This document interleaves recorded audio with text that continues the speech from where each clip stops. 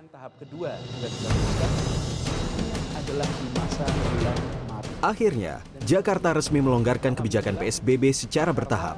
Pelonggaran PSBB ini resmi diumumkan Gubernur DKI Jakarta Anies Baswedan, di mana ibu kota akan memasuki masa PSBB transisi fase pertama yang berlangsung mulai hari ini.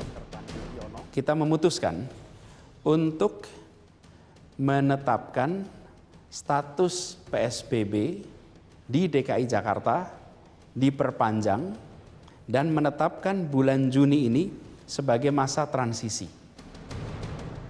Keputusan pelonggaran mulai dari aktivitas ekonomi, tempat ibadah, dan perkantoran juga diikuti dengan syarat mematuhi protokol kesehatan yang ketat. Kebijakan pelonggaran ini pun menuai beragam reaksi dari warga. Sebenarnya sih nggak setuju kalau lihat uh, kondisinya sekarang kan, karena berarti kalau misalnya dibebasin kayak gitu makin kasusnya bakalan makin meningkat karena orang juga kayak ya udahlah nggak apa-apa gitu kan was-wasnya jadi berkurang juga gitu. Memasuki masa transisi, masyarakat tetap diimbau mematuhi protokol kesehatan ketat, mulai dari pola hidup bersih dan sehat, rajin mencuci tangan dengan sabun, selalu jaga jarak, dan menggunakan masker, serta menjauhi kerumunan demi memutus penularan COVID-19. Sementara dalam PSBB transisi fase pertama ini, tempat ibadah diperbolehkan untuk digunakan kembali dengan ketentuan kapasitas 50% dan menjaga jarak aman 1 meter. Mobilitas transportasi umum maupun kendaraan pribadi juga diperbolehkan dengan hanya diisi 50% dari kapasitasnya.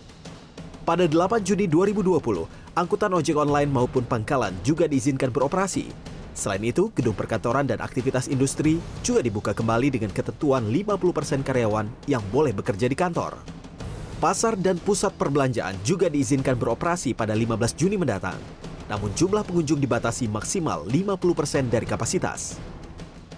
Menurut dosen epidemiologi Fakultas Kesehatan Masyarakat Universitas Indonesia, Pandu Riono menyebut, kunci keberhasilan di masa transisi ini ditentukan oleh kedisiplinan dari masing-masing individu. Risiko tetap ada, ya kan? Dan itu akan menjadi tinggi hanya gara-gara satu orang atau dua orang yang tidak berperilaku aman tadi. Saya mengatakan perilaku aman untuk mengurangi risiko. Kalau itu diterapkan, setiap orang menerapkan, itu vaksin yang terbaik yang kita punya. Ya, disiplin diri dan tetap mematuhi protokol kesehatan menjadi faktor penting dalam memutus penyebaran COVID-19.